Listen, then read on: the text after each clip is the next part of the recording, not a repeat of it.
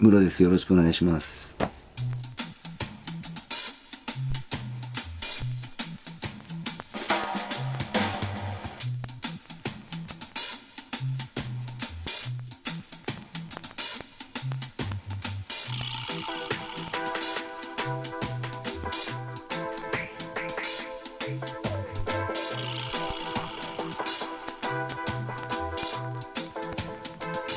まあ、一番初めに、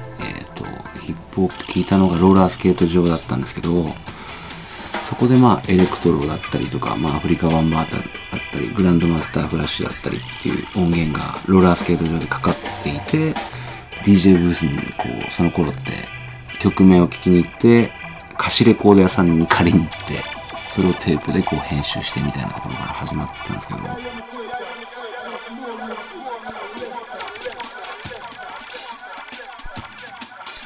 もうその頃っていうのは、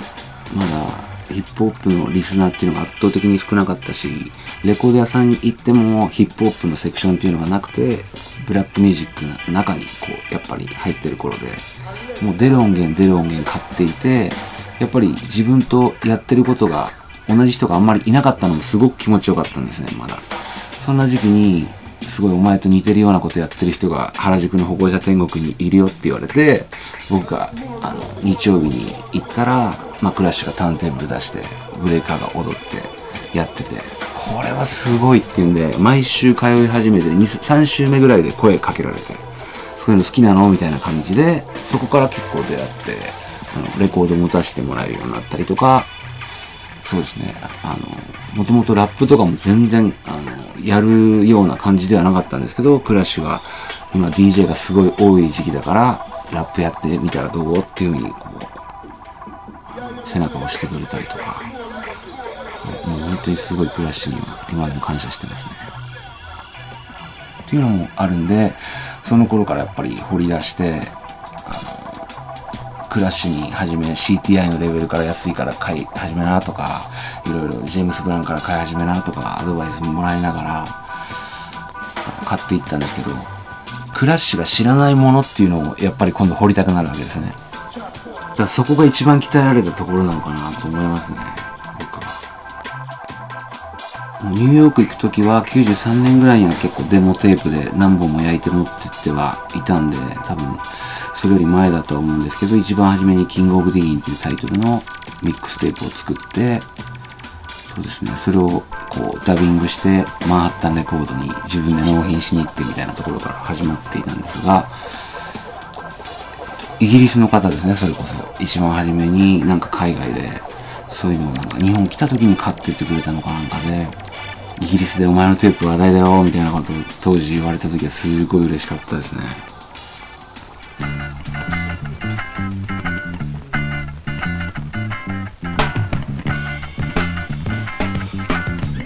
ただ、まあ、それはダンスのパーティーであって、この、ルーツとかダブをかけれるような、やっぱり、あの、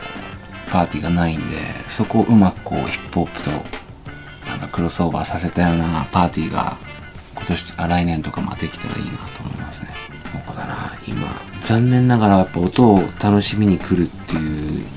人たちがすごく減っていて、うん、なんか、日本もちょっと、ディスコ化してきちゃってるんですね。きっとまあ、こう、周期で回転はしてるんですけど。がまたそういうコアな箱とかがこう、あの、盛り上がってくる時期もこれから出てくると思うんで、もう好きなことみんなやり通した方がいいと思いますね。採用されず。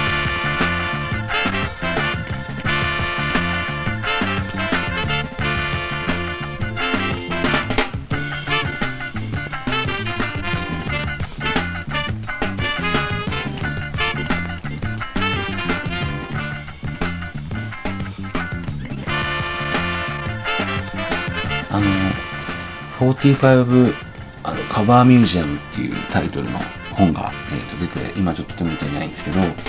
それがあの日本版の7インチの、えー、とジャケットっていうのを、えー、と僕がおすすめする曲だったりとか、そことかをなんかこう面白がってくれたりとか、あとやっぱりカタカナのアートワークっていうのが今、あの海外からも見直されたりとかもしてたりするんで、そういうアートワークだったりとか、まあ当時、ああもうこんな出てたんだとかこんなの出すためにやっぱレコードガレーシャの人は努力したんだろうなとかいろんなものが多分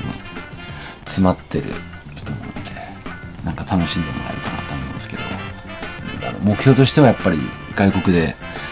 やっぱりいろんな人にこう楽しんでもらう日本の面白さみたいなのが伝わればいいなと思いますね目標 I love、uh, Annie Bond、ぱあのシュガーシャックっていう絵は本当に好きですねなんかベタですけどあのマービン・ゲイの I Want You のカバーになってるなんかやっぱそこの中だけにやっぱ自由があるっていう